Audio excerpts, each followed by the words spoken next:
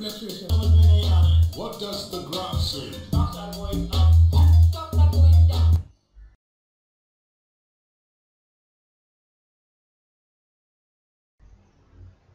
Good morning, friends. Welcome once again to Nifty analysis from tradingfab.in.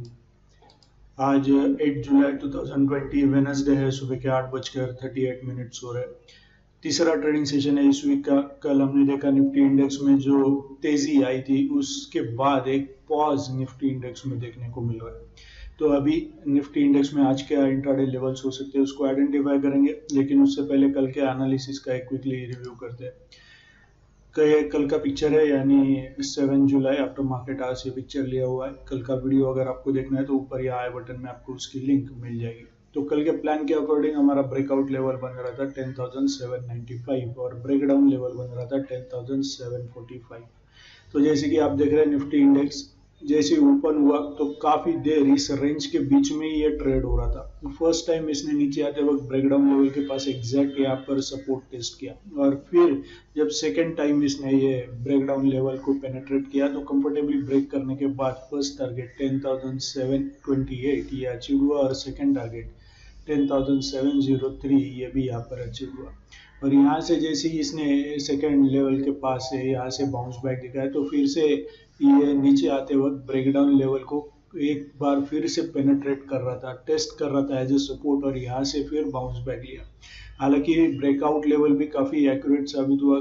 तीन बार इसने resistance लिया और तीन बजे के बाद इसने ये ब्रेक किया था। तीन बजे के बाद हालाँकि कोई इंट्राडे ट्रेड इनिशिएट नहीं किया जाता।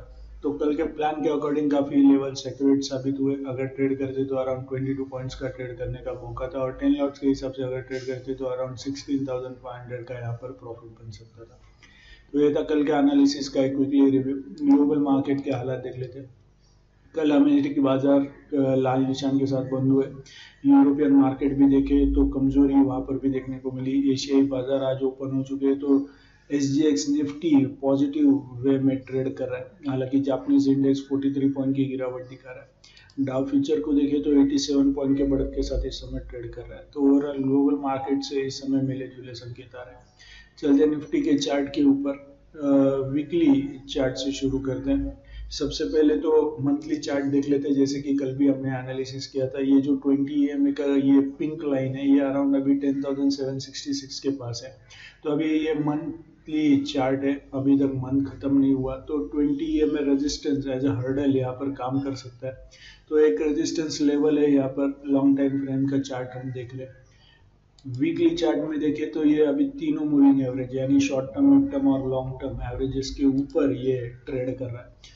तो यहाँ पर एक पॉजिटिव साइन ये है कि ये अभी तीनों मूविंग एवरेजेस को इसने ब्रेक कर दिया। हालाँकि ये वीक अभी तक खत्म नहीं हुआ, अगर वीकली चार्ट में ये फ्राइडे को अगर इसके ऊपर क्लोज देता है कंफर्टेबली और, और एक यहाँ पर बुलिश कैंडलस्टिक क्रिएट होता है तो यहाँ से और भी अपसाइड तेज़ी हमें देखने को मिल सकती है। चलते हैं डेली चार्ट पर। डेली चार्ट पर जैसे कि हमने यहाँ पर फिबोनाची एक्सटेंशन लेवल को ड्रॉ किया था लास्ट स्विंग हाई लो को पकड़ के। तो अभी ये 61.8 परसेंट का लेवल और 50 परसेंट का ये जो लेवल है इसके बीच में ये लास्ट टू डेज़ से ये ट्रेड कर रहा है। तो 10,817 के ऊपर अगर सस्टेन करता है आर्ली चार्ट में तो निफ्टी इंडेक्स में और भी यहाँ से ऊपर की तरफ़ तेज़ी देखने को मिल सकती है। हालाँकि कल भी ऑलमोस्ट इनसाइड बार ट्रेडिंग था तो 10,817 और नीचे 10,700 काफ़ी क्रूशल लेवल हो जाता है। अगर 700 को अगर ये यहाँ से ब्रेक करता है तो फिर से निफ्टी में एक बार करेक्शन हमें देखने को मिल सकता है। तो ये था डेली वीकली और मंथली चार्ट का सिनेरियो चलते हैं 60 मिनट के चार्ट में. क्विकली इंट्राडे लेवल्स को आइडेंटिफाई करेंगे. कल भी देखे तो ऑलमोस्ट इनसाइड बार ट्रेडिंग था लेकिन जो ब्रेकआउट लेवल बन रहा था इसी के पास इसने कल क्लोज दिया तो कल का जो ये हाई बन रहा था और एक दिन पहले का भी हाई ऑलमोस्ट सेम था. तो यहाँ पर अगर 8000 10,000 815 को अगर ये कंफर्टेबली ब्रेक करता है और उसके ऊपर सस्टेन करता है तो ही इंट्राडे के लिए हम यहाँ पर बाय पोजीशन बना सकते हैं। और तभी हमारा फ़र्स्ट टारगेट होगा 10,839 ये हमारा फ़र्स्ट टारगेट होगा। और सेकंड टारगेट होगा 10,861 ये हमारा सेकंड टारगेट होगा। ब्रेकडाउन लेवल सेम होगा क्योंकि यहाँ पर फिर से जब यहाँ से बाउंस बैक हुआ था कल सेकेंड टारगेट के यहाँ से ये देखिए यहाँ से। तो जब ये ऊपर जा रहा तो ये तो इसने फिर से ब्रेकडाउन लेवल को दो बार इसने पेनेट्रेट किया था।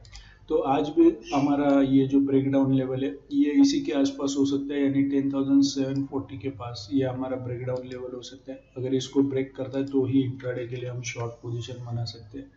तभी हमारा फ़र्स्ट टारगेट होगा टेन थाउज़ेंड सेवन ट्वेंटी ये हमारा फ़र्स्ट टारगेट होगा। और सेकेंड टारगेट होगा ten thousand seven zero two ये हमारा सेकेंड टारगेट होगा।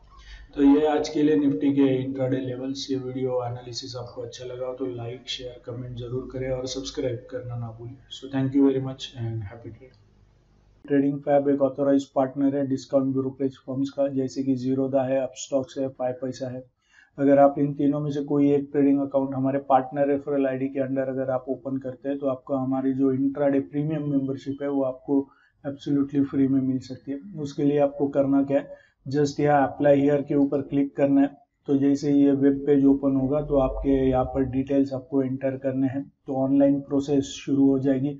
एक दिन में अकाउंट ओपन हो सकता है अगर आपके डॉक्यूमेंट्स रेडी है तो।